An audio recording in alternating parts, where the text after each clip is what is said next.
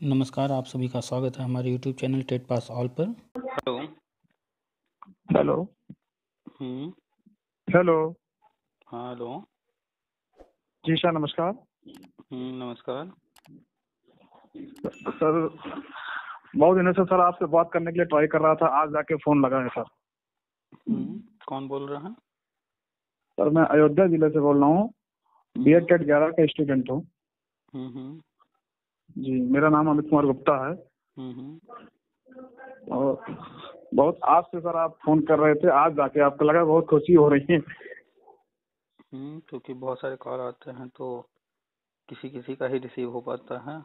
जब समय मिलता है जी, उसके सर। आधार पर रिसीव किया जाता है। जी सर। सर कुछ हमारे सवाल थे उन्हीं का निदान में चाह रहा था आपसे। यूट्यूब पर तो सारी जानकारी दी जा रही है।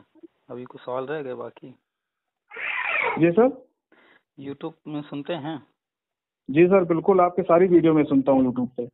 तो वहाँ तो सारी जो भी बातें रहती हैं हर चीज़ पर डिस्कशन होता ही रहता है फिर कहाँ सवाल रह गए? सर अभी भी कुछ क्वेश्चन रह गए थे इसी वजह से मैं पूरी सेटिस्फाइड नहीं हो पाया था उसमें। हम्म हम्म बताइए। तो उसमें एक था सर एक रिट पड़ी है 2011 के टेट वालों की तरफ़ से सुप्रीम कोर्ट में विचाराधीन है। हम्म। पाँच सौ कुछ लड़के हैं शायद उसमें। हम्म।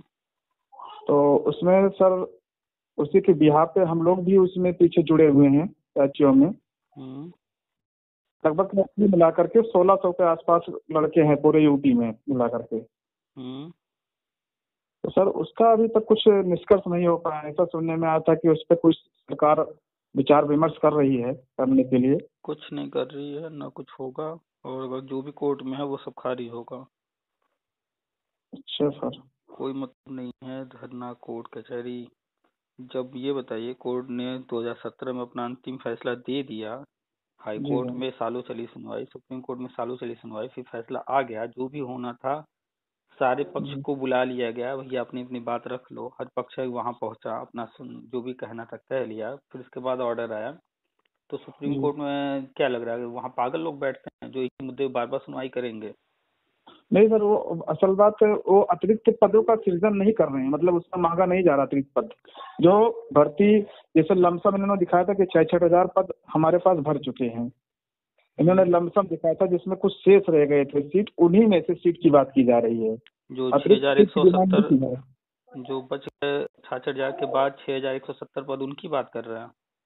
मैंने उसकी बात नहीं कर रहे उस छह छह हज़ार के अंदर में ही सर कुछ शेष थे इन्होंने ए- कोर्ट ए- ने near साफ़ साफ़ ऑर्डर में लिखा है जो अंदर वो अंदर इट। मीन्स अब कोई अंदर इस मैटर में नहीं आने वाला है इस रास्ते से कोर्ट ऑर्डर पढ़े आप पूरा 2017 का हाँ, सर एक्चुअली मैं था तो कोर्ट ऑर्डर लेकिन हमने पढ़ा नहीं एक्चुअल में तो थे वही सुन लेते थे तो लोगों की जब सुन सुन के चलेंगे तो यहाँ पर तो तरह तरह के लोग हैं भैया। हम ये जो है मैटर कोर्ट ले जा रहे हैं हम ये रेट डालेंगे ये याचिका है आइए जुड़िए पैसा दीजिए। तो तरह तरह के लोग हैं सबकी सुनते रहेंगे तब तो आप सुन चुके पहले आप खुद जो है जानकारी ले ही नहीं रहे हैं दूसरों की सुन के चल रहे हैं तो कैसे होगा?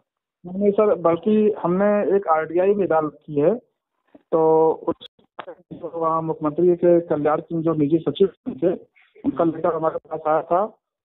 और उसके बाद फिर उन्होंने अपर बेसिक शिक्षा सचिव को उन्होंने तलब किया था मतलब कि जवाब उपलब्ध करा दीजिए इसमें चार पाँच दो परमानेंट वो मांगा था आरटीआई हम्म, अब वर्तमान में मैं राज्य सूचना आयोग में गया हूँ वहाँ दो डेट पे अभी उपस्थित नहीं हुए हैं और हम्म। उसकी नौ फरवरी लास्ट डेट पड़ी हुई है उसपे। ये बताइए। वो कमेटी की रिपोर्ट उसमें सार्वजनिक करने के लिए भी मैंने मांगा था कि हम लोग के लिए जो कमेटी की रिपोर्ट एक चीज़ बताइए। जी सर। जो कोर्ट चाहे हाई कोर्ट हो या सुप्रीम कोर्ट जो वहाँ बैठा हुआ व्यक्ति है जो जज है उसको सैलरी कौन देता है? सर ज़ाहिर सी बात है केंद्र सरकार देती है। और जिन सचिवों की आप बात कर रहे हैं या आर आरटी एक्ट आपने लगाया वहाँ पर जो लोग बैठ करके उसका जवाब दे रहे हैं या जहाँ भी जिस विभाग की बात की जाए उनको सैलरी कौन दे रहा है? सर गवर्नमेंट ही दे रही है कहीं ना कहीं दूसरे से सरकार। अब आप एक चीज़ बताइए आप अगर घर में नौकर रखेंगे तो आप उससे क्या उम्मीद करेंगे? वो आपके अनुसार चले या आपके विरोधी जो हैं उनके अनुसार चले?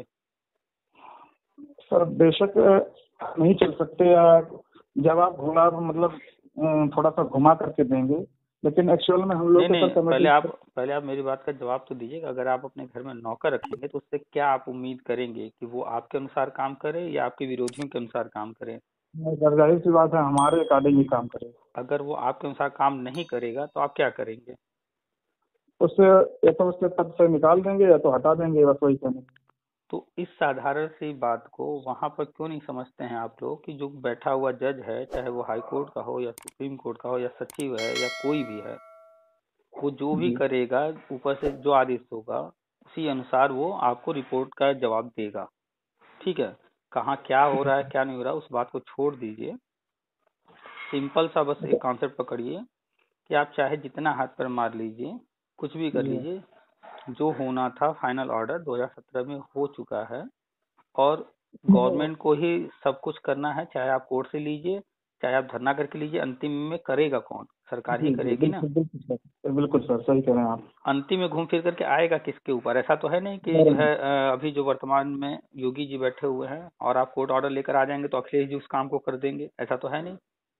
तो घूम फिर के जाना वही है और फिर जब वहाँ जाना है तो वही ऑर्डर लेकर जाएँगे जो ऑर्डर उन्होंने ही करवाया है उन्हीं सर के. इतना मैं जानना चाह रहा था सर कि हम लोगों के लिए कहीं से कुछ उम्मीद है कि नहीं रहे बस और जब आप इतना सब कुछ सुनने के बाद भी अभी इन्हीं छोटे मोटे मुद्दों में उलझे हुए हैं बिना मतलब के कोर्ट कचहरी में नहीं सर तो- इन फ्यूचर में इन फ्यूचर में जैसे आपके मैं वीडियो सुनता हूँ तो सर उसमें आप राष्ट्रीय शिक्षा नीति जो समग्र शिक्षा अभियान के तहत आप बता रहे थे सर। तो अगर आप ये हमसे सुनना चाह रहे हैं आगे क्या होगा तो जितने भी कोर्ट कचहरी आप कर रहे हैं उससे संबंधित जो भी कागज़ आपके पास है उसको फाड़ कर फेंक दीजिए ठीक है? जी जी। और आराम से घर में बैठिए महीने दो महीने और जब तक शिक्षा मित्र का नहीं होगा तब तक तो नहीं होगा। शिक्षा मित्र का होने जा रहा है घोषणा जब भी हो जाए अभी चुनाव टलने जा रहा है चुनाव टलेगा फिर शिक्षा मित्र का होगा उसके बाद ही